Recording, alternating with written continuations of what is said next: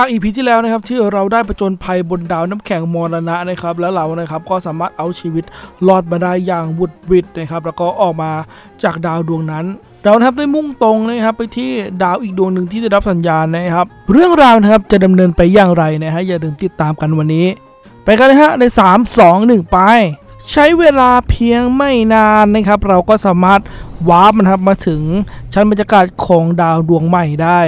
เรานะครับพุ่งลงนะครับผ่านชั้นบรรยากาศนะครับเมื่อทะลุลงมาได้นะครับ ก็ต้องพบกับนี่มันดาวหิมะอีกแล้วเหรอเนี่ยเราเพิ่งหนีจากดาวหิมะมาเพื่อจะมาเจอดาวหิมะอีกดวง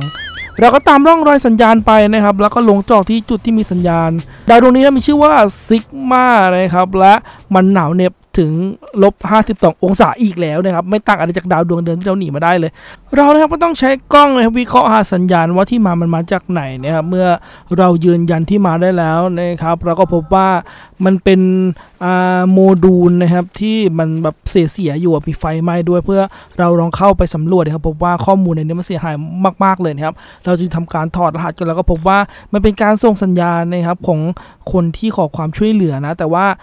คนที่ขอความช่วยเหลือเนี่ยเขาได้จากที่นี่ไปนานแล้วนะครับแล้วตามข้อมูลที่คนที่เคยติดอยู่ที่นี่เนี่ยเขาก็แนะนำให้เรานะครับ สร้างที่คุ้มกันหนีพายุนะครับ แล้วก็สร้างคอมพิวเตอร์เพื่อจะติดต่อจากข้างนอก การที่เราจะสร้างคอมพิวเตอร์นะครับ เราก็ต้องใช้ที่ปรับพื้นที่นะครับ โดยใช้เอาปืนมาอัปเกรดนะครับ เราก็จะสามารถขุดเหมืองได้นั่นเอง อุปกรณ์ตัวนี้นะครับ มันจะทำการปรับพื้นที่แบบขุดเหมืองแบบ easy โดยที่ไม่ต้องใช้ pickaxe เหมือน Minecraft เลยนะครับ แต่ว่าสิ่งที่เราหาเนี่ยนะครับเราไม่ได้หาเจ้าสิ่งนี้เราจะต้องหาทองแดงครับเราจึงต้องมุดถ้ำลงไป แล้วเราก็เจอทองแดงในที่สุดนะครับ เราก็ทำการขุดทองแดงเลยเพื่อเป็นชิ้นส่วนในการที่เราจะเอามาทำคอมพิวเตอร์นะครับเมื่อเราได้ทองแดงมาครบตามจำนวนที่เราต้องการแล้วนะครับ ผมก็ขี้เกียจเดินทะลุไปปากถ้ำนะดังนั้นจึงใช้ไอ้เครื่องขุดเนี่ยแหละนะครับในการเจาะรูขึ้นไปบนพื้นดินนะครับ ทฤษฎี Minecraft นะครับ เมื่อเราหลงทางในถ้ำเราก็ใช้วิธีขุดนะครับ แล้วก็ขุดขึ้นมาได้จริงๆเลยนะครับเป็นเล่นไป จากนั้นนะครับเราก็ต้องใช้เครื่องปั่นแยกสสารนะครับเพื่อทำให้ทองแดงเนี่ยมันบริสุทธิ์มากขึ้นนะครับ เราก็ทำการปั่นไปเลย เมื่อปั่นได้ตามจำนวนที่ต้องการแล้วเนี่ยนะครับก็ถึงเวลาที่เราจะสร้างคอมพิวเตอร์นะครับเราก็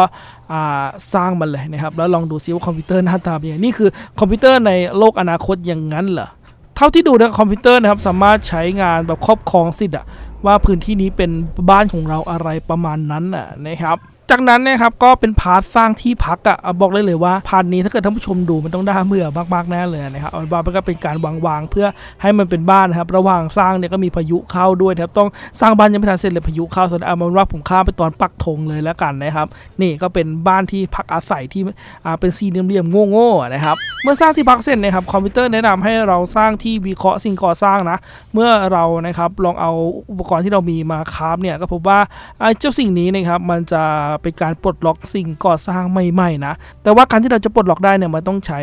ทรัพยากรชิ้นส่วนเสียหายอะไรสักอย่างนะแล้วมันแนะนำให้เราไปหาด้วย ผมก็นะครับก็ได้ลองไปตามหาโดยใช้เครื่องวิเคราะห์นะครับ ก็มีสัญญาณหลายอย่างเลยแล้วมีไอ้กล่องสมบัติเนี่ยนะครับอาจจะเป็นชิ้นส่วนอาจจะอยู่ในนั้นก็ได้นะครับ เมื่อเราไปถึงเนี่ยนะครับก็ขุดดูว่ามันมีกล่องจริง ๆ แต่ ก็พบว่าสิ่งที่มัน drop ออกมาเนี่ยมันไม่ใช่ชิ้นส่วนที่เอาไปอัปเกรดชิ้นส่วนบ้านอะไรนะครับแล้วก็ไม่รู้ด้วยว่าที่ drop มามันคืออะไรนะฮะ แต่ว่าเดินสำรวจไปสักพักหนึ่งครับ เราจะพบสัญญาณที่มันเป็นเหมือนแบบวัดสัญญาณ Wi-Fi อะ เมื่อกดแล้วก็พบว่าเออ มันได้ชิ้นส่วนที่อัปเกรดอันนั้นจริง ๆ นะ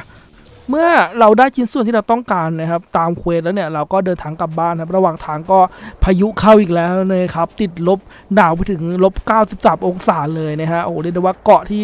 กันความเย็นนี่ลดฮวบฮวบเลยนะครับ ใช้เวลาไม่นานก็เดินถึงบ้านแบบฉิวเฉียดนะเข้ามาบ้านก็สบายตัวหน่อยนะครับ เราลองมาอัปเกรดกันว่ามันอัปเกรดอะไรได้บ้างนะครับลองวิจัยนะครับเราพบว่าที่ drop มาแล้ว drop มา 2 อันนะครับเราก็สามารถอัปเกรดได้ตามที่มันบอกนะลองอัปเกรดกำแพงมานะครับแต่ก็คง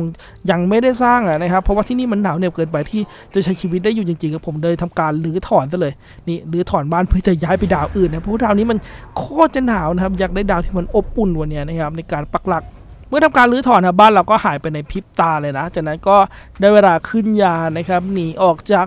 ดาวดวงนี้นะครับลาก่อนดาวอันหนาวเหน็บนะครับพอขึ้นมาแล้วเนี่ยนะครับพอออกมาจากดวงดาวดวงนี้นะครับก็พบว่ามีเศษอุกกาบาตน้ำแข็งเต็มเลยนะครับแล้วมองทะลุไปไกลๆนะครับพบว่ามันมีดาวอีกดวงหนึ่งว่าอยู่ไกลๆเราจะลองไปสำรวจดาวดวงนั้นนะครับ ว่ามันอบอุ่นพอที่เราจะอาศัยอยู่ได้สักพักหนึ่งก่อนหรือเปล่านะเพราะว่าอยู่ที่นี่มันหนาวเกินไปอะลำบากมากๆเลยเอาเป็นว่า part นี้ประมาณนี้นะครับเดี๋ยว part หน้าเราพาไปสำรวจดาวดวงใหม่ที่อยู่ไกลๆตรงนั้นนะนะครับ อย่าลืมติดตามกันนะครับ เราจะประจนภัยเจออะไรที่น่าสนใจใน No Man's Sky นะครับ ไว้เจอกันใหม่ part หน้าแล้วกันนะครับสำหรับ part นี้ไว้ประมาณนี้เนาะ